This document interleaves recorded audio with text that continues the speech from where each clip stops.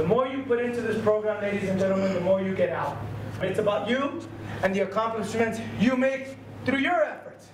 Not mine, not the instructors, not grandmasters, but yours. You want more? You put in more. The success is up to you. Have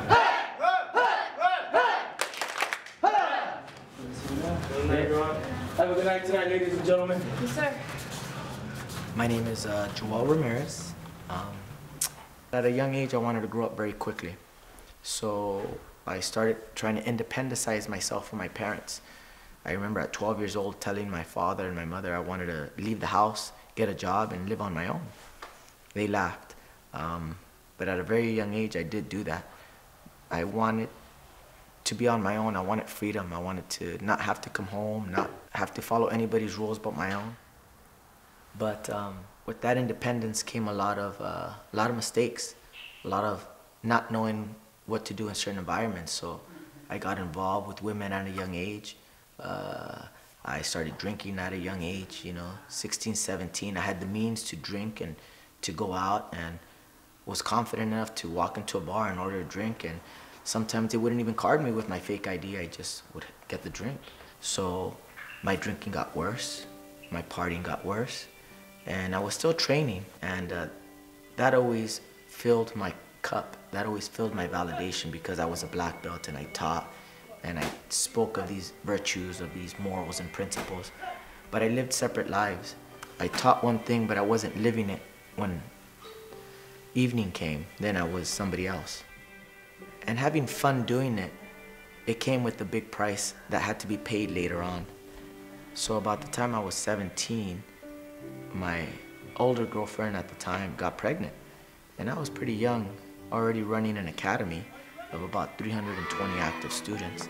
Um, I had to be responsible, but I wasn't ready yet. I didn't have the tools to be responsible.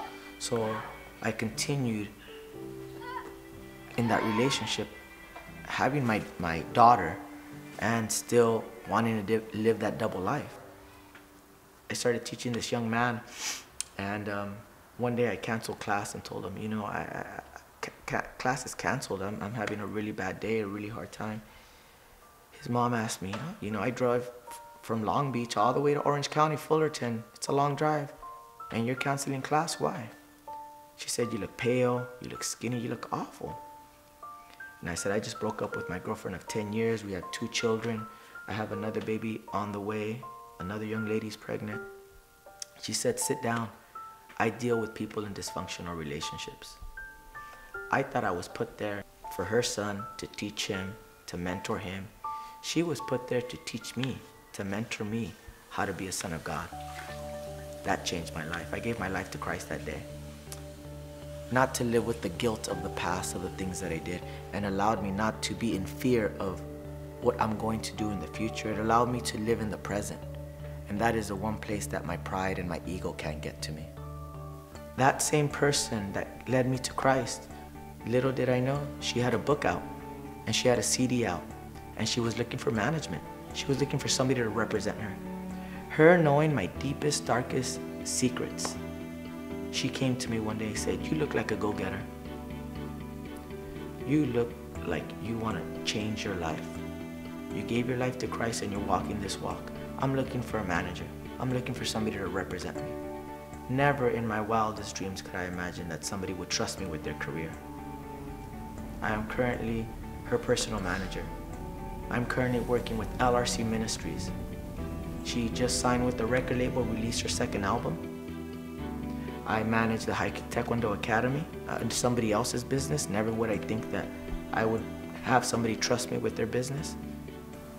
We just have to choose what is right and be disciplined enough to follow that path. I think that's the most difficult part is making that decision and having follow through. I think as young as young people, we're immature, we're selfish. We want everything now, now, now, today. We don't want to work for anything for tomorrow. And I think we have to live in today. What did I do right today? And the rewards will be shown tomorrow. Or maybe next month, next year. But they will be shown.